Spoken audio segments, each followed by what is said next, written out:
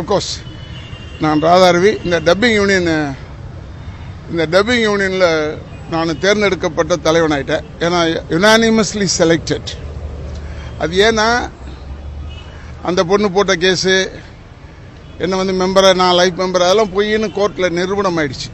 நேற்று சாயந்தரம் தள்ளுபடி பண்ணிட்டாங்க அவங்க மனுவை. அதுவே முதல் வெற்றி. இது ஒன்றும் பெரிய கொண்டாடுற அளவுக்கு இல்லை. எப்படி இருந்தாலும் கோர்ட்டு நீதியை சொல்லுமேன்னு எங்களுக்கு தெரியும். அதே போல் இன்னொரு பொண்ணு போட்டுச்சு. சுமதின்னு அது எலெக்ஷன்லேயும் நின்றுக்கிட்டு அங்கே எலெக்ஷன் வேணான்னு சொல்லுது. இந்த ஆச்சரியம் வேறு எங்கேயுமே நடக்காது. அது வந்து அதுவும் அதுவும் தள்ளுபடி ஆயிடுச்சு. அது முந்தானது தள்ளுபடி ஆயிடுச்சு. நேற்று சின்மை வந்து மெம்பர் இல்லைன்றது ப்ரூவ் ஆயிடுச்சு. ஸோ இனிமேல் இந்த மெம்பர் இல்லாதவங்க அதை ஒருத்தன் இந்த தாசரின்னு ஒருத்தன் அப்புறம் சாலமன்னு ஒருத்தன் மதின்னு ஒருத்தன் அப்புறமா இவன் சசின்னு ஒருத்தன் அப்புறம் சின்மயி இவங்களை போன்றவர்கள்லாம் உள்ளே வர முடியாது. உள்ளே வரக்கூடாது. ஆனால் நேற்று நைட்டு பாருங்கள் வக்கீ ஜட்ஜுங்க வந்து வக்கீலுங்க வந்து அவங்க வந்து இடம்லாம் பார்ப்பாங்க பிளேஸ்மெண்ட் கொடுப்பாங்க. நான்லாம் வரவே இல்லை. பட் இவங்க இங்கே வந்துக்கிட்டு தருணா பொருணான்னு சொல்லிட்டு இருக்காங்க. அதெல்லாம் இங்கே வேலைக்கு ஆகாது ராஜா. நான் தான் சொல்கிறேனே இப்போ கூட சொல்கிறேன் இந்த தேர்தல் ரிசல்ட் பாருங்கள் என்னால் வளர்க்கப்பட்டவர்கள் தான் என்னை எதிர்த்து நிற்கிறாங்க இப்போ கூட அந்த மெம்பர் வந்து என்னை கூப்பிட்டாங்க. அந்த பொண்ணு கூப்பிட்டுச்சு இதெல்லாம் நீங்கள் வந்து பயில எதிர்த்து நீங்கள் ரெண்டு மூணு பேரை நிற்க வச்சுருக்கீங்க தெரியுமா? அதெல்லாம் தப்புங்க. யார்? இந்த சாந்தகுமார் போன்றவர்களே. அவங்களாம் ஏன்னா பேலன்ஸ் இருக்குது அவனெல்லாம் நிறுத்தக்கூடாது இருந்தாலும். சரி எல்லாரையுமே கேன்சல் பண்ணிவிட்டு நம்ம போய் நின்னோம்னா அது நல்லா இருக்காது. நான் எல்லாத்துக்குமே லெட்டரை தரலாம். அப்ஜெக்ஷன் லெட்டர் தந்திருக்கலாம். நாங்கள் எங்கள் ஆளுங்களும் தரல. அண்டு நாங்கள் பெருந்தன்மையாக நடந்துக்குவோம். ஏன்னா வெற்றி உறுதி. இப்போவே சொல்கிறேன் எவ்வளோ ஓட்டு? அப்படின்றது ஒரு கணக்கு. எனக்கு தெரிஞ்சு நான் எப்படி ஒரு முந்நூறு ஓட்டுக்கு மேலே தான் எங்கள் டீம் வாங்கும். அதாவது டிஃப்ரென்ஸ் சொல்கிறேன் டிஃப்ரென்ஸே முந்நூறு ஓட்டுக்கு டிஃப்ரென்ஸ் வரும். மற்றபடி எங்களுக்கு ஒன்றுமே பயம் இல்லை. தேர்தலில் நிற்கிறதுக்கு ஏன்னா என்னை விட சிறந்த ஒரு தலைவர் கிடையாதுன்னு அவங்களுக்கே தெரியும். ஒன்றும் இல்லாமல் ஐம்பது ரூபா வாங்கிட்டு வந்தவங்களெல்லாம் இன்றைக்கி வந்து ஆயிரத்தி ஐநூறுரூவா ரெண்டாயிரம் ரூபா வாங்குற அளவுக்கு உயர்த்தியிருக்கேன். ஃபைட் பண்ணுவேன். அதுக்கு சில படம் எனக்கு போயிடும். ப்ரொடியூசர்ஸ் எடுத்து தானே சொல்கிறது அக்ரிமெண்ட்லாம் அதனால் ஃபைட் பண்ணியிருக்கேன். தமிழ்நாடு அரசாங்கத்துக்கு அவார்டு வாங்கி தந்திருக்கேன். அப்போ இவன் சொல்லுவான் அவங்களே அம்மாவை பார்த்து அவங்கக்கிட்ட நான் தனியாக லெட்டர் எழுதி கொடுத்தேன். ஏன்னா சிறந்த பின்னணி குரல் கொடுப்பவர்கள் ஆண் பெண் கிடையவே கிடையாது. லிஸ்ட்டில் வாங்கி கொடுத்தேன். இந்த கட்டடத்தை வாங்கி கட்டி கொடுத்தேன். கட்டினதுக்கு நான் ஒரு பெரிய காரணம். ஏன்னா சகோதரர் சரத்குமார் இருந்தார். அவர்கிட்டலாம் உதவி கேட்டு இங்கே இந்த கட்டிடத்தை கட்டி தந்தேன் அது வந்து அடுத்த தலைவர் வந்து அவன் வந்து நன்றி விசுவாசத்தில் தத்தோ ராதாரவி வளாகம் போட்டான். அதே ஒரு நன்றி கேட்டவன் கேட்டான். ஆ அது எப்படி அவர் பில்டிங் பேர் போடலாம்? உருவாக்கினவன் பேரை போட்டிருக்காங்க. அதனால் துடிக்கிறான் இங்கே உள்ளே வரத்துக்கு. உள்ளே வந்து ஏதோ மக்களுக்கு நல்லது செய்ய போகிறேன்னு இவங்களால என்ன செய்ய முடியும்னு கேட்குறேன் இந்த இங்கே இருக்கக்கூடிய அந்த நிறை குறைகள்லாம் எப்படி என்ன? ஒன்றுமே குறையே கிடையாது ராஜா. நீங்கள் வந்து அவங்கெல்லாம் சொல்கிறத கேட்டுக்கிட்டு என்கிட்ட பேசுகிறீங்க நான் கேட்குறத பேசுகிறதா இருந்தால் நான் பேசுவேன். ஏன்னா அவங்க வந்து நூற்றி ஐம்பது குறை சொல்கிறாங்க நான் கேட்டால் அசிங்கமாக போயிடும். பெண்களுக்கு பாதுகாப்பு இல்லை. சொன்னவன் பூரா கல்யாணம் ஆனவன். புரியுதா? அதோட புரிஞ்சுக்கணும். அதை அதோட விட்டுருங்க. அப்புறம் இன்னொன்று இந்த இவன் நாசர் கூட அதுக்கு சொல்லியிருக்காரு. எனக்கு ரொம்ப ஆச்சரியம். ஏன்டா நடிகர் சங்கத்தை மூடிட்டாங்கன்றது இப்போ தான் தெரியுது. அட்மினிஸ்ட்ரேஷன் சரியில்லைன்றது தெரியுது பாருங்கள் இப்போ சொல்கிறாரு கமிட்டியில் நான் நிற்கிறேன் கமிட்டி தான் மிக முக்கியம்னு ஏன் அப்போ அடுத்த வாட்டி நின்னார் இப்போ தேர்தலில் நடிகர் சங்கத்தில்? கமிட்டியில் நிற்க வேண்டியவர் தானே? அதுக்கு இங்கேருந்து யாரோ ஒரு ஆள் நம்ம சைடில் கேட்டிருக்காங்க. நீ முதல்ல உன் தாய் தகப்பனை காப்பாற்று அப்புறமா யூனியனை காப்பாற்றுன்னு இது கோவப்படுறாங்க. தேர்தல்னா நீ பேசுகிற மாதிரி தானே நாங்களும் பேசுவோம். தலைவர் பதவிக்கு ஆசை பிடிச்சவர்னா நான் ஏழு பேரை மாற்றியிருக்கேன் தலைவரில். நான் நின்ன அசைக்க முடியாத தலைவர் டப்பிங் யூனியனில் பட் ஜி வி ரத்னகுமார் அவர்கள் வந்திருக்காங்க.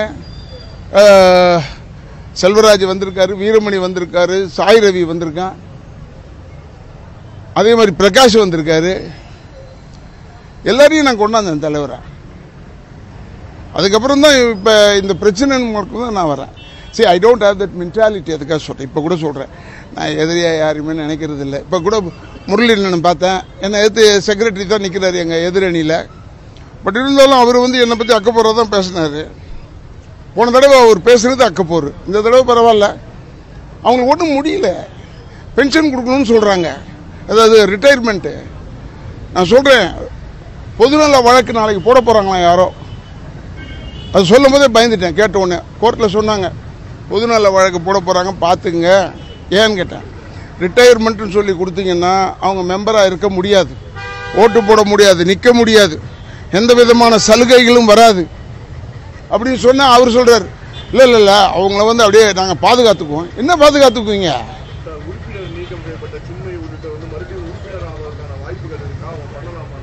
தப்பே இல்லைங்க. அவங்க வந்து மன்னிப்பு லெட்டர் எழுதி கொடுக்கணும். கமிட்டியில் கொடுக்கணும். செஞ்சது தப்புன்னு கமிட்டியில் நான் கேட்பேன் டிசைட் பண்ணுறது கமிட்டி. இப்போ நாங்கள் சுதந்திரத்தை சேர்க்கலையா? கேஸ் போட்ட சுதந்திரம். பூமா சுப்பாராவ் ராதாரவி கெடுக்க நினைக்கிறான்னு சொன்ன பூமா சுப்பாராவுக்கு நாங்கள் வந்து சேர்க்கலையா? மன்னிப்பு கேட்கணும் கே- கேஸை வாபஸ் வாங்கணும். இனிமேல் வந்து கேஸ் வாபஸ் வாங்கினா கூட அந்த பணமெல்லாம் கட்டணும் யூனியனுக்கு. ஏன்னா இப்போ அவங்க சொல்கிறாங்கல்ல அதிகமாக செலவு பண்ணிட்டாங்க. யாருக்கு செலவு பண்ணாங்க? நீ கேஸ் போடாமல் இரு. நாங்கள் செலவு பண்ணாமல் இருப்போம். புரியுது உங்களுக்கு? சின்மை சேர்றதுக்கெல்லாம் வாய்ப்பு இருக்குங்க. தப்பில்லை. ஆனால் மன்னிப்பு கேட்கணும்.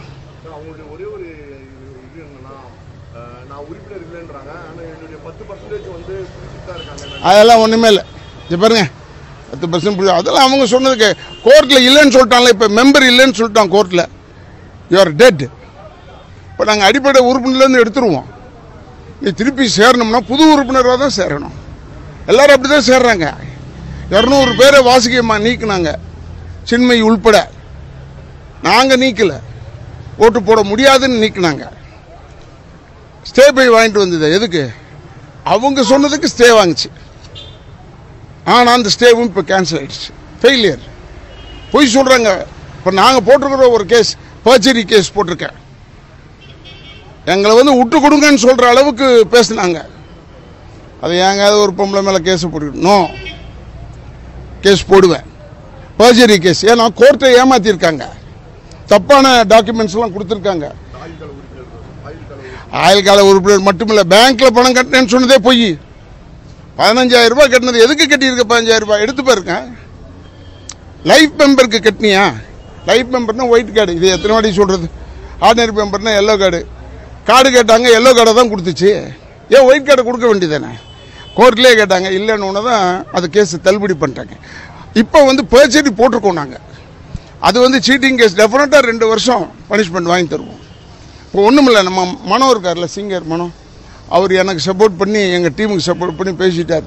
ஹைதராபாத்தில் போய் மீட்டு கேஸ் மாதிரி ஒன்று இழுக்குது. அவன் மேலே. இது ஒரு பயமுறுத்தல் பிளாக்மெயிலர் அவன். அண்டு பப்ளிசிட்டி பிரியும் அதுக்கு. அதை போய் தலைவியாக நிற்க வைக்கிறாங்க. அது இவர் சொல்கிறாரு அது நாசர் போன்ற எக்ஸ்பீரியன்ஸ் ஃபெலோஸ் சொல்கிறாரு அவங்க வந்து ஆக்டிவாக இருப்பாங்க. அவங்க ஃபைட் பண்ணுவாங்க. அப்போ நீ ஃபைட் பண்ண மாட்டியா? நீ ஆக்டிவ் இல்லையா? நீ ஆக்டிவ் இல்லைன்றத நடிகர் சங்கத்தில் தெரியுமே?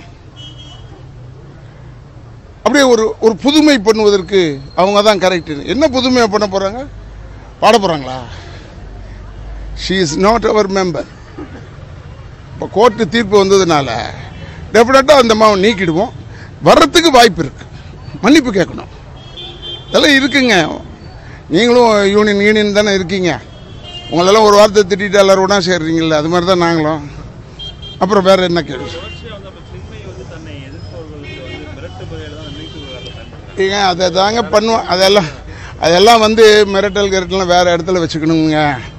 நம்மெல்லாம் அப்படிலாம் அதுக்கெல்லாம் வந்து ச சளைச்சு கொடுக்குறவங்க இல்லை.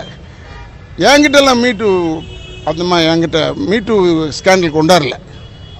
அது ஒரு பெரிய பத்திரிக்கையில் போட்டிருக்காங்க கீழே. இவர் மீட்டு வில் வந்து பனிஷ்மெண்ட் ஏதோ நான் அக்யூஸ்ட் மாதிரி அப்படின்னு தான் சொல்லி அதை எடுக்க சொல்லிட்டேன். அவங்கக்கிட்ட கேட்டேன் ஏன்னா it is recognise magazine legally அதனால் அவங்கள கேட்டேன் என்ன என் பேரை போடமாலாம் இப்படியே போடுறீங்க? சின்மைக்கு வேண்டியப்பட்ட பொம்பளைன்னா போங்க அவங்ககிட்ட போங்க. என்கிட்ட வராதீங்க. சொன்னி மேலிடத்தில் பேசணுண்டான் ஏன்னா நான் உண்மைக்கு தான் ஃபைட் பண்ணிட்டு பாருங்க இந்த டப்பிங் யூனியனு ஹிந்தி கிளாஸ் எடுத்திருக்கேன் எல்லாருக்கும். திருநெல்வேலி ஸ்லாங் வேணும்னு வெற்றிமாறன் கேட்டார் அசுரன் படத்துக்கு அதுக்கு எடுத்தோம். அப்புறமா எல்லாருக்கும் எடுத்திருக்கோம். எல்லாருக்கும் நான் எடுத்திருக்கேன். எதுக்காக சொல்கிறேன்னா இங்கிலீஷ் கிளாஸ் எடுத்திருக்கேன் ப்ரொனவுன்சியேஷன் தெரியணும்னு. அதனால் சொல்கிறேன் எதிர்ப்பு அது அந்த இடத்துல எதிர்ப்பு தாங்க இருக்க முடியும் நானே. என்ன குற்றம் சொல்கிறாங்க நான் எடுத்து தான் பேசுவேன். நியாயமான விஷயத்தில் பேசு ஒத்துக்கிறேன். ஈவன் இப்போ டப்பிங் யூனியன் கூட அவருக்கு அப்படி ஒரு இன்ட்ரெஸ்ட் இருந்ததுன்னா என்னை கேட்டிருந்தா ஒருவேளை நான் தலைவர்லேருந்து இறங்கியிருப்பேன். எப்படி சகோதரர் விஜயகாந்த் நடிகர் சங்கத்தில் கொண்டாந்தோமோ அது மாதிரி நாசரை நிற்க வச்சுருப்பேன். நாங்கள் நாசர் வந்து கேப்பபிள் மேன் ஒரு மரியாதைக்குரியவர் அட்லீஸ்ட் பேசுகிறாரு அட்மினிஸ்ட்ரேட் பண்ணுறாருன்றதெல்லாம் விட்டுருங்க. அவர் நடிகர் சங்கத்தில் வந்து மூணு வருஷமாக பேசவே இல்லையே. பேசுனது பூரா விஷால் தானே. அதுக்காக சொல்கிறேன் நாசர் இஸ் கேப்பபிள் ஹேண்ட் அவர் வரலாம் ஆனால் அவர் வந்து எப்படி கேட்கணும்னு ஒன்று இருக்குது வழிமுறை இருக்குது அதுக்காக சொல்கிறேன் அவன் ஒருத்தன் சொல்கிறான் எனக்கு அவர் ஃபோனே பண்ணலன்னு ஏன் இவனுக்கு என்ன ஃபோன் பண்ணணும்னு அவசியமா என்ன?